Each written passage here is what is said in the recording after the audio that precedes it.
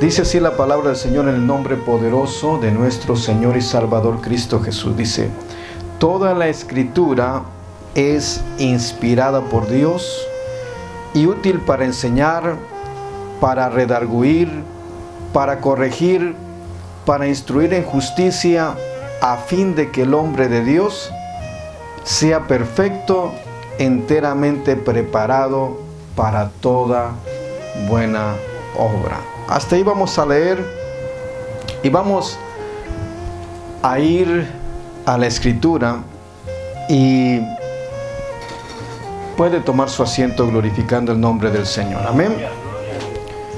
Cuando la semana pasada estuvimos meditando en lo que era la palabra redarguir, si se recuerda, ¿verdad? Fuimos a Jeremías capítulo 21, el verso 1 hacia adelante y vimos cómo la misma palabra del Señor nos enseña que el Señor convierte nuestros argumentos en contra de quien los hace. Pero hoy vamos por el tercer punto. Me he tomado el tiempo de ir parte por parte. Si usted se da cuenta, hemos venido solamente por un versículo de la Biblia eh, estudiando, pero lo que quiero que quede claro de parte del Señor es la importancia de que leamos la palabra del Señor.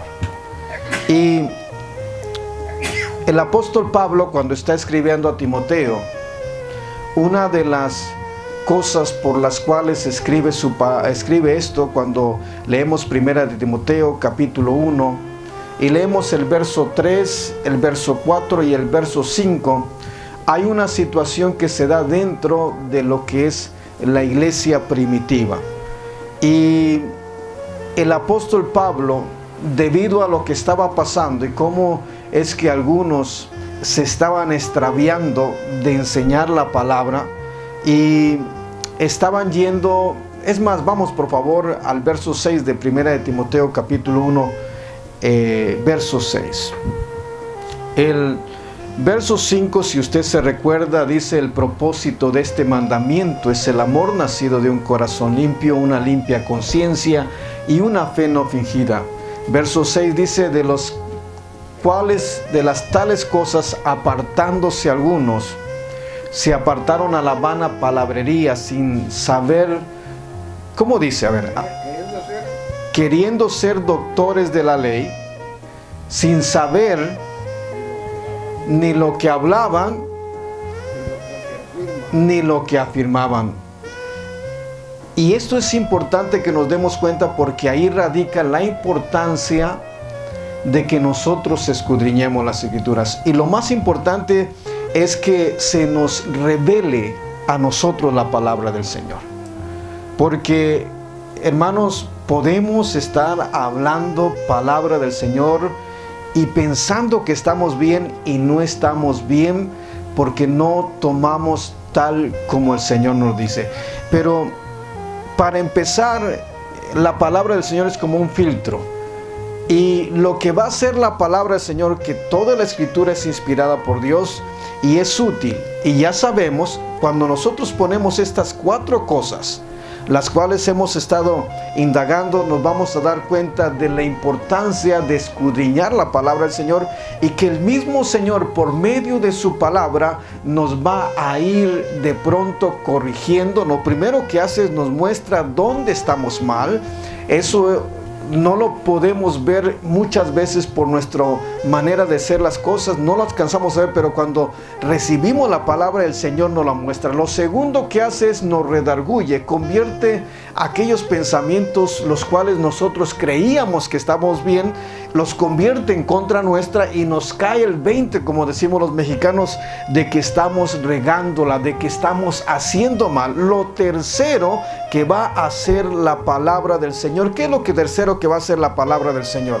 Lo tercero que va a hacer la palabra del Señor es corregir. Óigame bien. ¿Y qué quiere decir la palabra corregir? La palabra corregir quiere decir enderezar lo torcido. Eso es lo que quiere decir la palabra corregir. Quiere decir que lo primero que hace el Señor nos muestra en qué condición estamos, nuestra condición delante de Él.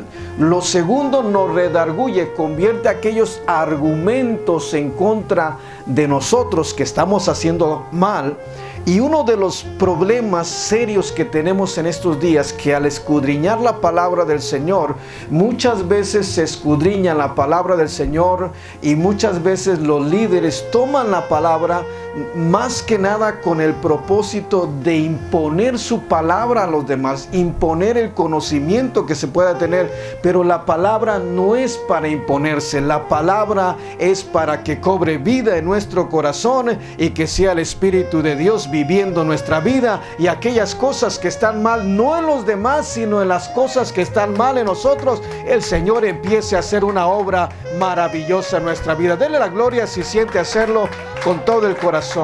Pero vamos a descubrir, dele la gloria, amén, con todo el corazón, porque Él se la merece. Pero vamos a descubrir en esta noche que lo tercero para lo que la Biblia es útil, para lo que sirve la palabra del Señor es para corregir. Y la palabra corregir quiere decir enderezar lo torcido.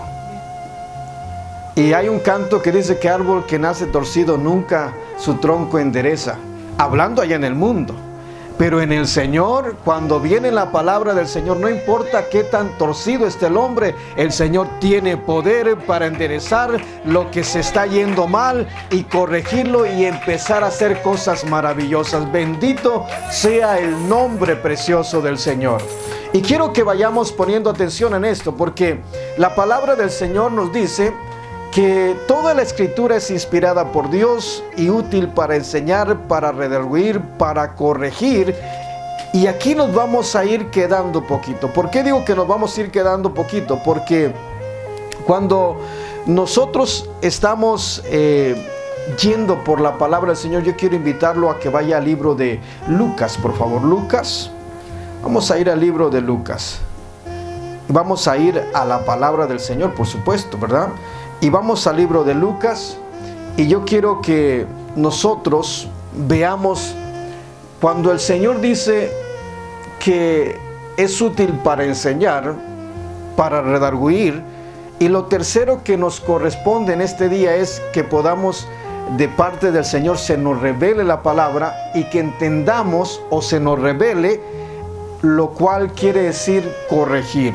Y vamos al libro de Lucas capítulo 19, por favor. ¿Ya tiene el libro de Lucas capítulo 19? Y en el libro de Lucas capítulo 19 usted va a encontrar la porción donde el Señor Jesús tiene aquel encuentro con Saqueo. Y Saqueo ya tiene Lucas capítulo 19. Vamos a ir leyendo poco a poco para que sea el Señor hablando a nuestras vidas de cómo la palabra de Dios cobra vida en el ser humano. El verso 1 del capítulo 19 lo tiene. Dice, habiendo entrado Jesús en Jericó, iba pasando por la ciudad y sucedió que un varón llamado Saqueo, ¿qué dice ahí enseguida? ¿Cómo dice ahí enseguida? Vamos poniendo atención a cada detalle de la palabra del Señor. Hoy, por medio de la palabra del Señor, el Señor quiere revelarnos lo que es corregir. Corregir es enderezar lo torcido. Y de pronto lo vamos a ver en la escritura, porque eso es importante. Ahora, mire bien, verso 2, ¿qué dice? Y sucedió que un varón llamado ¿qué? Saqueo. ¿Qué dice enseguida? Que era jefe de los publicanos y rico. Ahora, ponga atención a esto porque de entrada el verso 2 nos está haciendo saber quién era Saqueo. Y no era cualquier hombre, era jefe de los publicanos. Y no solamente era jefe de los publicanos, sino que tenía bastante hablando en lo económico. Era rico, dice la palabra del Señor. Ahora, seguimos leyendo y el verso 3 dice, procuraba ver quién era Jesús, pero no podía a causa de la multitud, pues era pequeño de estatura. algo, algo pasó en la vida de Saqueo. Porque seguramente había escuchado, seguramente había oído de Jesús. ¿Por qué? Porque dice la escritura que él procuraba ver a Jesús. Quiere decir que había algo que lo movía allá adentro. ¿Y cómo no va a mover de pronto aquello, verdad? Si uno escucha que hay un Jesús que anda por el camino, que anda sanando los enfermos, que cambia la vida de los hombres, que resucita a los muertos, que hace maravillas, que habla cuando habla ningún hombre como Él ha hablado, bendito sea el nombre del Señor, de tal manera que cautiva el corazón del ser humano. Saqueo no era la diferencia. Saqueo dice que procuraba ver quién era Jesús, quería saber quién era, porque seguramente había escuchado oír de Jesús, pero tenía la oportunidad de su vida porque por donde estaba iba pasando Jesús. Y como iba pasando Jesús, hermano, ahí tenía la oportunidad de su vida para conocer a Jesús. Qué bendición, bendito sea el nombre del Señor. Pero haga de cuenta que le pasó como a Moisés. Encendió el Señor una zarza que empezó ardiendo, que llamaba la atención de Moisés. Aquí no era la zarza, aquí era el que hizo la zarza que ardiera quien estaba caminando entre medio que llamaba la atención no solamente de saqueo, sino de aquella multitud que le seguía e iba detrás de los. Si le va a dar la gloria al Señor, désela porque Él se la merece con todo el corazón. Y es algo hermoso porque lo primero que hace el Señor llama la atención y al llamar la atención revela. El Señor le mostró a Saqueo la condición en la que estaba. Yo no sé si me está comprendiendo aquí. Porque si no le muestra la condición en la que estaba, no hubiera hecho lo que nosotros vemos por medio de su palabra. Pero como el Señor de pronto iluminó su corazón, no solamente iluminó su corazón, sino que lo redargulló, lo siguiente que hace Saqueo es que empezó a enderezar aquello que había estado haciendo mal. Era jefe de los publicanos pero era tranza. ¿Sí me está comprendiendo? Y no es que yo lo diga, sino lo dice la palabra del Señor. El verso 3 dice, procuraba ver quién era Jesús, pero no podían por causa de la multitud, pues era pequeño de estatura. Verso 4. Y corriendo delante subió a un árbol sicómoro para verle, porque había de pasar por ahí. Mire qué precioso. Póngase, no era cualquier hombre, era jefe de los publicanos. No solamente era jefe de los publicanos, era rico. Y aquel hombre quería, se le olvidó completamente su postura, su posición dentro de la, de la sociedad. Que lo que había en su corazón era ver a Jesús. Y no le importó que lo criticaran, no le importó que dijeran, mira este, porque se subió arriba de aquel árbol sicómoro solamente para ver a Jesús. Ahí se olvidó de su posición, se olvidó que tenía dinero, es que cuando el Señor nos revela, aquello queda como secundario y lo más importante es saber que estamos delante de la presencia del Señor y que el Señor puede hacer cosas maravillosas, puede hacer cosas preciosas en nuestra vida. Vamos, ensalte el nombre del Señor si desea hacerlo con todo el corazón porque Él se la merece. Bendito y alabado sea el nombre del Señor. Esto está precioso.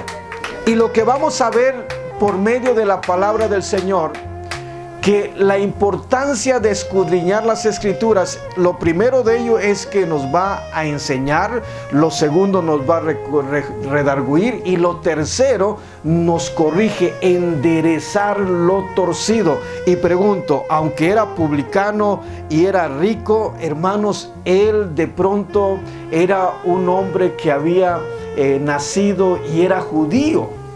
Pero la razón que era publicano porque lo tenían como un renegado, como lo que tenían como alguien que le había dado la espalda al Señor. En otras palabras, no estaba dentro del camino del Señor, pero aunque para muchos no estaba dentro de los caminos del Señor, ahí estaba el Señor alumbrando la vida de Saqueo, haciendo que de pronto fuera tanta la insistencia que quiso venir a conocer a Saqueo. Y es que no quería conocer a nadie, solamente quería conocer al Rey de Reyes y Señor de señores, aquel que cambia y aquel que transforma, aquel que hace las cosas diferentes. Bendito sea el nombre del Señor. Ahora, el verso 5 dice, cuando Jesús llegó a aquel lugar, mirando hacia arriba, lo vio. ¿Qué más sigue diciendo? Y le dijo, saqueo, date prisa, desciende porque hoy es necesario que pose yo en tu casa. Eso está especial. Hace unos días predicaba en Canton y les decía a dónde va Jesús.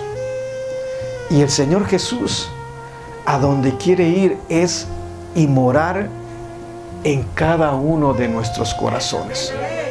¿A dónde quería ir? Vea Saqueo, al verlo arriba, le dice el Señor Jesús, porque dice, cuando Jesús llegó a aquel lugar, mirando hacia arriba, le vio y le dijo, Saqueo, date prisa, desciende, porque hoy es necesario que pose yo en tu casa.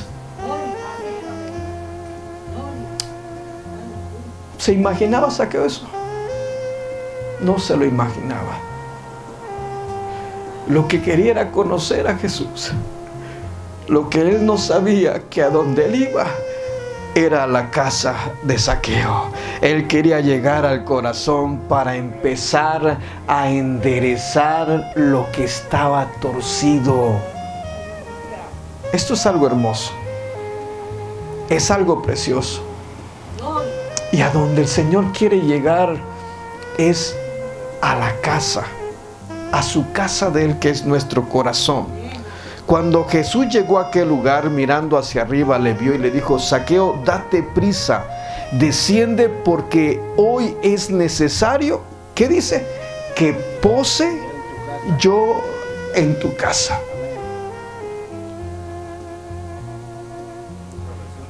Amén, hermano.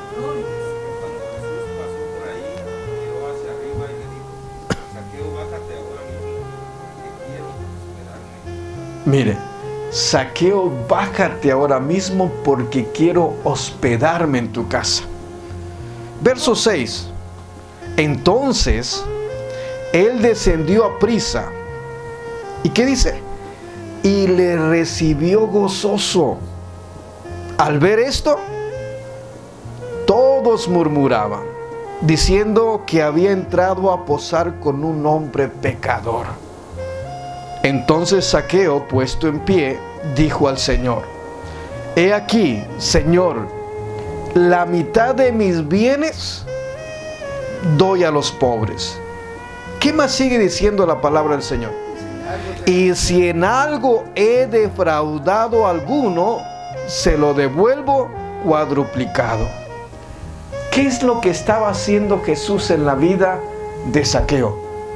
Estaba corrigiendo lo que estaba torcido. Y cuando el Señor corrige lo que está torcido, al hombre no le importa interesa lo económico, lo material. ¿Y sabe por qué? Porque sabe que es más importante la salvación, sabe que va a poder dormir tranquilo, sabe que no le va a quitar el sueño nada, porque va a estar en paz consigo mismo y va a estar en paz con Dios y va a estar con, en paz con sus semejantes. Bendito sea el nombre precioso del Señor. ¿Se da cuenta? Que lo que hace la palabra del Señor, por eso la importancia de leer las escrituras. Hermanos, cuando nosotros leamos la palabra del Señor, vamos a empezar y vamos a, buscar empaparnos más de la palabra del Señor, pero por favor, en el amor del Señor Jesús le pido que lo que vayamos a meternos y a aprender de la palabra, que esta palabra tengamos en cuenta que no es para andarle diciendo a la gente, tienes que hacer esto, tienes que hacer esto, porque la palabra no es para eso, la palabra es para que cobre vida en nuestro corazón, para que nos enseñe, para que nos redarguya, para que nos corrija, para que nos corrija, para que nos instruya, para que seamos hombres de bien, hombres que estén dispuestos a hacer toda buena obra. Bendito sea el nombre del Señor. Y una vez que la palabra cobre vida en nuestro corazón, nuestra manera de vivir, nuestra manera de actuar va a ser lo que va a impactar a la gente. La gente se va a dar cuenta que somos diferentes. Antes no podíamos ser diferentes, pero ahora lo somos porque el poder de Cristo mora en nosotros y su palabra cobra vida en nuestros corazones y nos hace que vivamos una vida agradable, santa delante del Señor y que sigamos hacia la meta que es llegar a la gloria y estar por una eternidad con Cristo Jesús. Bendito sea el nombre poderoso del Señor. Dele la gloria si siente hacerlo. Ensalte el nombre del Señor. Por mí no se detenga, que aunque estamos aquí al aire libre, está el Señor y Dios se hace presente porque está dentro de nuestro corazón y a Él sea la gloria y Él sea la honra. Bendito sea el nombre del Señor. Se da cuenta cómo corrige el Señor. Lo precioso, hermano, es que nadie le dijo a Saqueo, estás mal. ¿Sí me comprende? Nadie se arrimó a echarle en cara donde estaba mal, no. Sino que le resplandeció la luz de Cristo en su corazón. Le mostró, mire, bien que sabía dónde estaba mal. Lo fuerte de él era las riquezas. Lo fuerte de él era recaudar impuestos.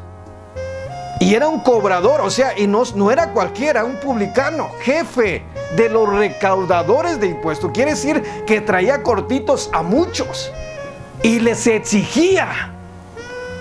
Y lo que hace la palabra corrige el corazón del hombre. Y al corregirlo al hombre no le pesa hacer lo que tiene que hacer. ¿Por qué? Porque estamos leyendo a través de la palabra del Señor que Saqueo descendió de prisa y recibió al Señor Jesús triste. No, lo recibió gozoso. Y dice la palabra que al ver esto, todos murmuraban diciendo que había entrado a posar con un hombre pecador. Empezó el rum rum a moverse alrededor. Criticar al Señor Jesús porque había entrado a comer en casa de un publicano. Pero el Señor dice en su palabra saqueo, bájate de ahí. Porque a tu casa quiero ir. Esto está precioso. Y eso está maravilloso.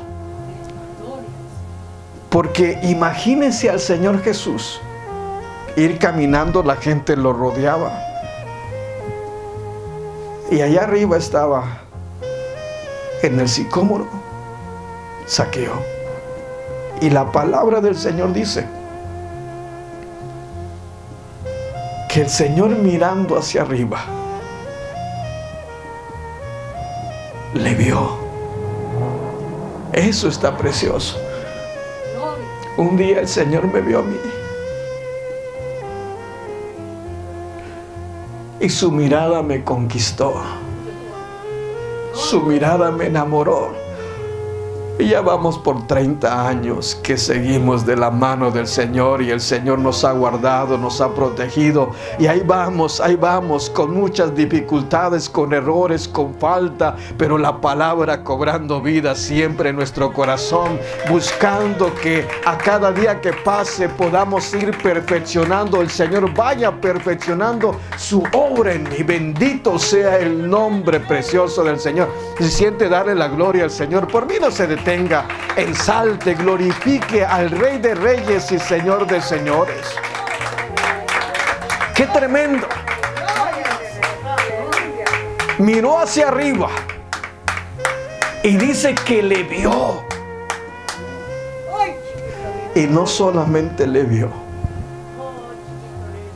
habló con él. Y le dice, saqueo, date prisa. Desciende. Porque hoy, hoy es necesario que pose yo en tu casa. Mire qué especial. Mire la obra que hace su palabra en nuestras vidas. Porque había gente que iba con él. Gente que estaba siguiendo a Jesús pero en lugar de recibir la palabra, empezaron el rum rum. Empezaron las murmuraciones. Caramba.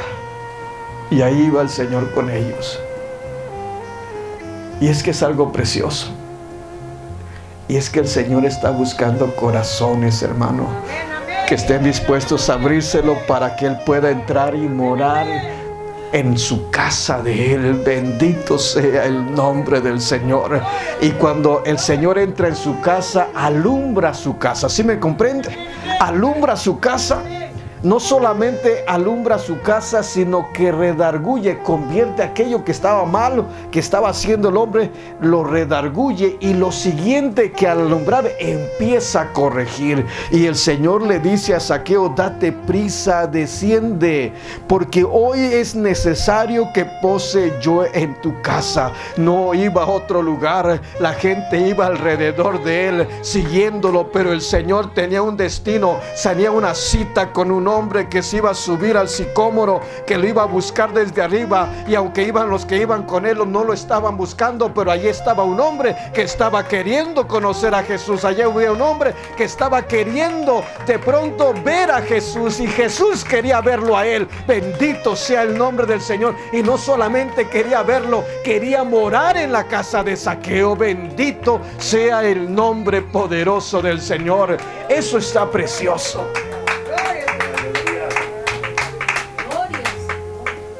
Saqueo, date prisa, desciende porque hoy es necesario que pose yo en tu casa. Entonces, él descendió de prisa y le recibió gozoso. Al ver esto, unos tres murmuraban. Vayan por favor a la palabra. Verso 7. Al ver esto, unos cuantos murmuraban. O sea, ¿sabe lo que estaba pasando? Que los que iban con Jesús se sentían santos, se sentían puros, se sentían bien y no dejaban que la palabra hiciera la obra en el corazón. Y lo que hacían, tomaban la palabra y la aplicaban a los demás, que es el gran error que se comete en el liderazgo porque el líder empieza a enseñar, pero empieza a imponer las cosas del Señor. Y hermano, yo estoy aquí para compartirle la palabra del Señor, pero el único que puede hacer la obra en el corazón no es este que le está hablando. El único que puede hacer la obra en el corazón es el Espíritu de Dios que está en nosotros, que produce el cambio en nosotros. Y cuando el Señor produce el cambio, la gente no vuelve a ser la misma. ¿Por qué no vuelve a ser la misma? Porque ahora Jesús mora en el corazón y Él es el que guía la casa. Bendito sea el nombre del Señor. Si algo me ha gustado cuando nací en este ministerio es precisamente eso, que nuestro pastor enseña la palabra, pero no impone a nada. No quiere decir que no vamos a hablar la verdad, no quiere decir que no vamos a reprender el pecado. El pecado lo vamos a reprender, pero no de una manera que dañemos. ¿Por qué? Porque la palabra va a ser la obra y el Señor es el que va a mostrar el pecado, el Señor es el que va a redarguir, el Señor es el que va a, va a corregir y el Señor es el que va a instruir a través de su preciosa palabra para que el hombre de Dios sea perfecto, enteramente preparado para toda buena obra. Bendito, alabado sea el nombre del Señor. Vamos, alguien que me ayude. Si siente saltar el nombre, dele la gloria al Señor porque Él se la merece. Dele la gloria al Señor porque Él vive, porque Él reina, porque está en medio nuestro. Eso está precioso. La importancia de escudriñar la palabra no es para aprenderla y aplicarla a los demás. La importancia de escudriñar la palabra es aprenderla y que cobre vida en nuestro corazón. Que dejamos que sea el Espíritu de Dios cobrando vida en nosotros. Si nosotros leemos detenidamente la palabra, Saqueo recibió con gozoso al Señor Jesús. El verso 7 dice que al ver esto, todos murmuraban. No unos, no tres, no cuatro, todos murmuraban. No había nadie que empezara a abrir su boquita para criticar. Y nada más uno estaba recibiendo la bendición de Dios. El Señor no quiere seguidores. Ya les voy a predicar ese tema. El Señor no quiere seguidores. El Señor quiere guiar a su hijo y a su hija. Y mire, verso 7 dice, al ver esto, todos murmuraban diciendo que había entrado a posar con un hombre pecador. Verso 8, ¿qué dice el verso 8?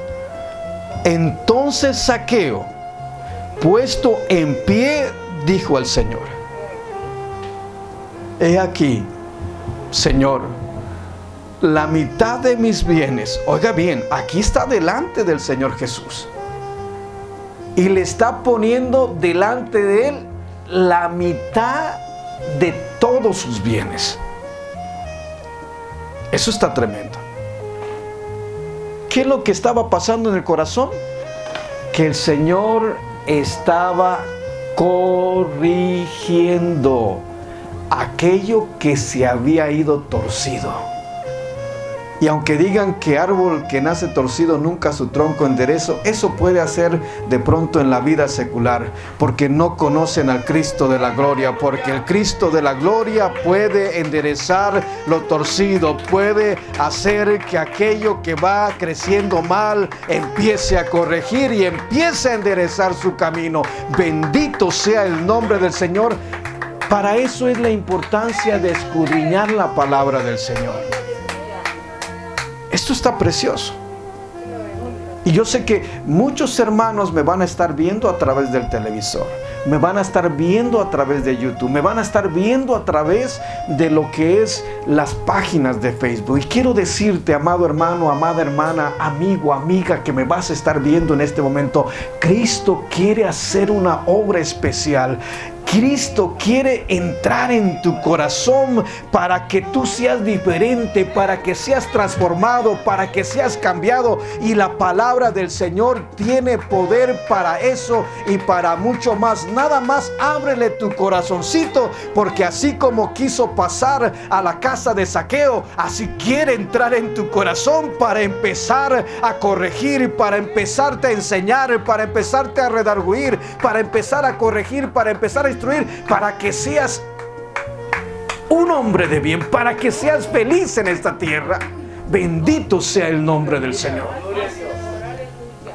Es que la palabra de Dios es preciosa. Toda la escritura es inspirada por Dios. Y es útil, o sea que sirve lo primero para enseñar. Lo segundo, para redarguir. Lo tercero, para corregir. Y lo estamos viendo en la palabra del Señor. Y mire qué hermoso. Alguien le dijo a Saqueo, tienes que dar la mitad de tus bienes. Es muy rico, tienes que dar a la iglesia la mitad de tus... Nadie se lo dijo.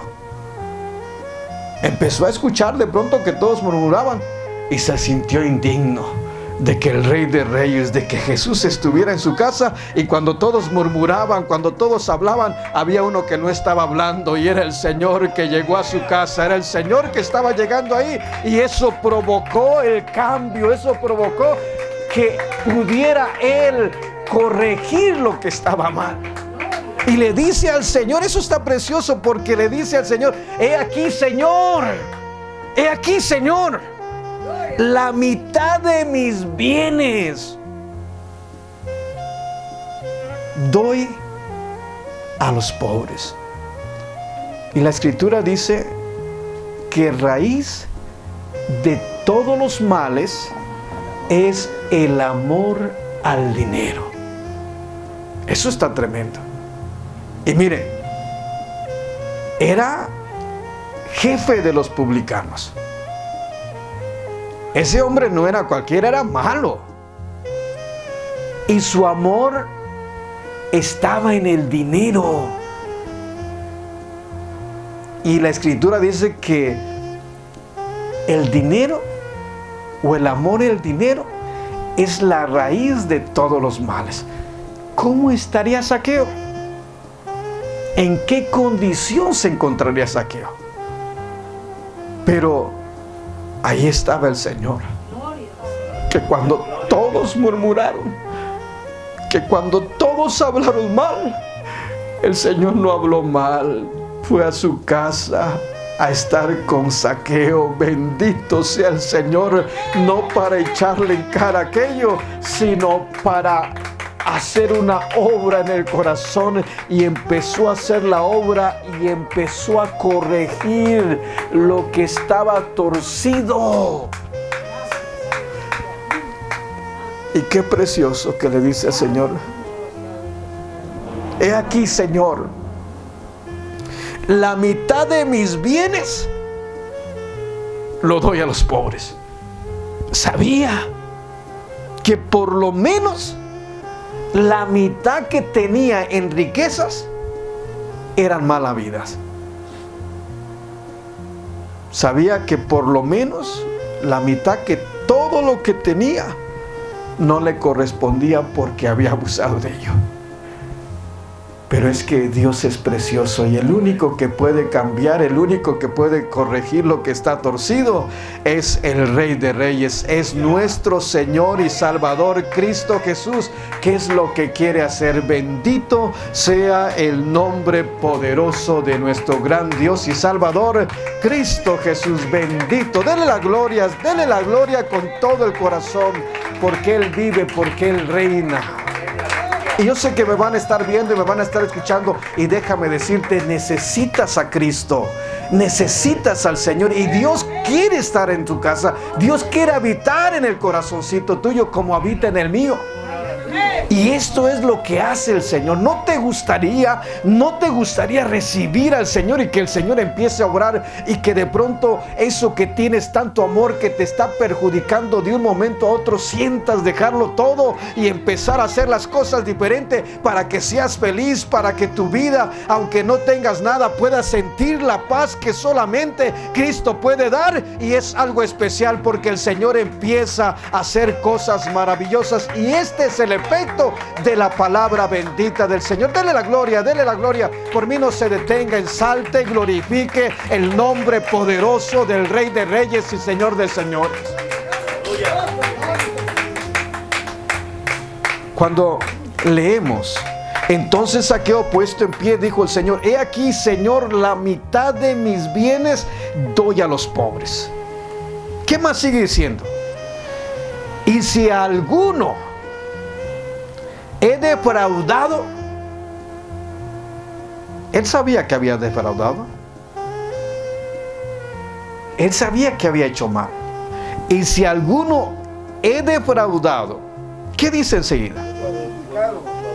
Se lo devuelvo cuadruplicado. ¿Qué es lo que estaba pasando en el corazón de Saqueo? El Señor estaba corrigiendo lo que estaba torcido el Señor estaba corrigiendo aquello que se había ido mal. El Señor estaba haciendo una obra maravillosa en el corazón de Saqueo. ¿Y sabe por qué? Porque Dios es poderoso para hacer eso y mucho más. Bendito sea el nombre precioso del Señor. Denle la gloria al Señor con todo el corazón. Eso es algo hermoso. La palabra de Dios cuando nosotros escudriñamos la palabra, algo tiene que pasar. No porque yo lo diga, sino porque es poderosa. El apóstol Pablo dice, no me avergüenzo del Evangelio porque es poder de Dios para salvación. Quiere decir que la palabra es poderosa. Y no hay nada más maravilloso que vivir en Cristo Jesús. Esto está precioso. Cuando Saqueo está diciendo, si algo, si en algo he defraudado a alguno, se lo devuelvo cuadruplicado. Verso 9, ¿qué dice? Jesús le dijo, hoy ha venido la salvación a esta casa, por cuanto él también es hijo de Abraham, porque el Hijo del Hombre vino a buscar y a salvar lo que se había perdido. Bendito sea el nombre del Señor. ¿Qué le está diciendo el Señor a Saqueo? ¿Qué le está diciendo el Señor a la gente que estaba ahí? Que Saqueo estaba en una condición de perdición, estaba en una condición mala, pero había venido la salvación a esa casa. Había venido Jesús para enderezar aquello que estaba torcido y empezar a ser diferente a Saqueo. Bendito sea el nombre del Señor, pero eso pasa cuando se le da lugar al Señor. Gloria al nombre precioso del Señor. Dele la gloria al Señor con todo el corazón. Qué preciosa es la palabra del Señor. Qué hermosa es la palabra del Señor. Dios tiene poder. Dios tiene poder para hacer cosas maravillosas. Y miren, el Señor dice que toda la escritura, toda la escritura es inspirada por Dios. Y es útil, o sea que sirve. Cuando nosotros decimos o leemos la palabra útil, quiere decir que sirve. Lo primero es para enseñar, que ya lo meditamos, ya lo estudiamos. Lo segundo que hace la palabra es redarguir.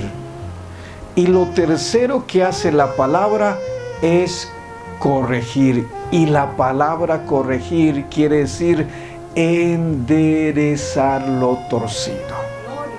Esto está precioso. ¿Está comprendiendo, hermano, la palabra del Señor? Y eso es algo que sucede en nuestras vidas.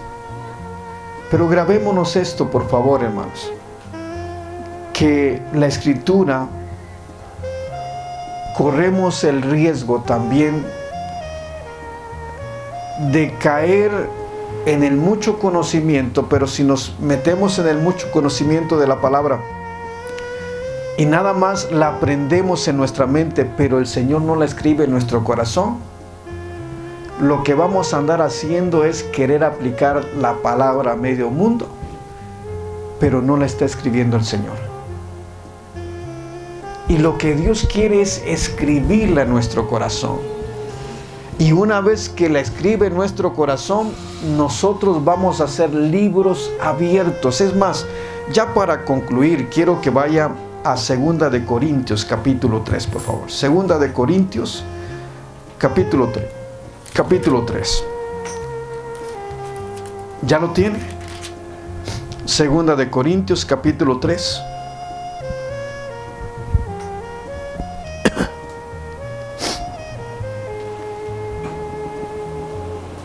¿Ya lo tiene? Segunda de Corintios capítulo 3, verso 2. ¿Cómo dice? Nuestras cartas sois vosotros, escritas en nuestros corazones, conocidas y leídas por todos los hombres. Verso 3. Siendo manifiesto que sois carta de Cristo, expedida por nosotros, escrita no con tinta, sino con el Espíritu del Dios vivo, no en tablas de piedra, sino en tablas de carne del corazón. Bendito sea el nombre poderoso del Señor. Quiere decir que el Señor lo que quiere hacer es, primero nos muestra, nos enseña, lo segundo que hace la palabra, nos redarguye y lo tercero nos corrige y al corregirnos empieza a enderezar lo torcido y ya cuando la gente de pronto nos conoce y nos conocía como éramos antes, que de pronto como dice el canto nadie daba un centavo por nosotros, pero uno hubo uno que dio su vida en la cruz del Calvario, que no dio un centavo, que dio todo por rescatarme, por enderezarme, por corregirme y que de pronto ahora se pregunta la gente y este yo lo conocía que era un borracho, era un maldiciente y ahora anda con su Biblia, ahora se la da de muy santo y no es que sea santo, sino que el santo vive en el corazón y produce el cambio y la gente empieza a leer en nosotros lo que la palabra de Dios está haciendo en nosotros y una de las cosas que hace es que corrige, empieza a enderezar lo que estaba torcido. Ahora dicen, ya no es un ratero, ahora es cristiano, ahora es hijo de Dios porque el Señor corrigió su vida, porque el Señor hizo cosas maravillosas. Bendito sea el nombre del Señor. Pero ahora la palabra habla a través de nosotros. ¿Sí me está comprendiendo? Y no es que vamos a andar nosotros de pronto aplicando la palabra del Señor. Si algo vino al Señor a corregir a los judíos, a los fariseos, a los escribas, es que no enseñaran solamente, sino que primero vivieran su palabra, que la pusieran por obra y después, después enseñaran. Con nosotros es diferente. ¿Por qué? Porque primero vamos a vivir la palabra y la misma palabra va a ser la obra y la gente va a leer en nosotros su palabra de que somos diferentes, que Dios nos ha cambiado, que nos ha transformado, pero ha sido Dios porque Él es el único que puede hacerlo. Es el único que puede cambiar a un drogadicto. Es el único que puede cambiar a un alcohólico. Es el único que puede cambiar a una prostituta. Es el único que puede cambiar a un homosexual. Es el único que puede cambiar el corazón de un hijo que tiene amargura contra el padre. Es el único que puede cambiar el corazón de un padre contra su hijo. Es el único que puede hacer maravilla. Es el único que puede enderezar lo que está torcido porque Él es Bendito sea el nombre maravilloso de Jesús. Bendito sea su nombre. Toda la escritura es inspirada por Dios.